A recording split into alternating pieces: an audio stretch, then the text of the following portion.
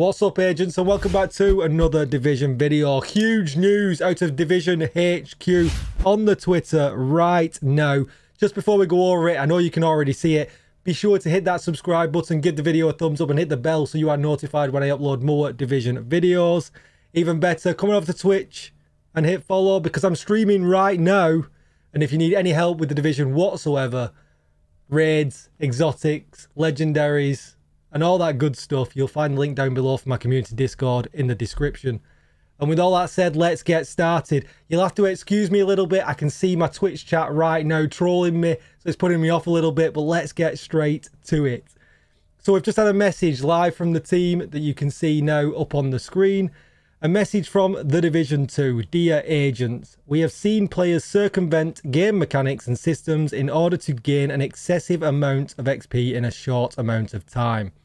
This is resulting in high latency on our servers and thereby making the game unstable and unenjoyable.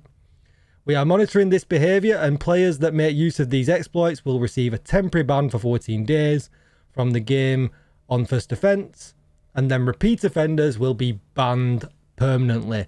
Great, great news because we all know Summit and some other areas have been absolutely unplayable over the last couple of weeks. But this is great news now. We know that they're monitoring it and if you are breaking the rules, because when you get this message on login now, you've no excuse to say you have not seen it, you are going to get banned. So hopefully all them areas will become playable again soon.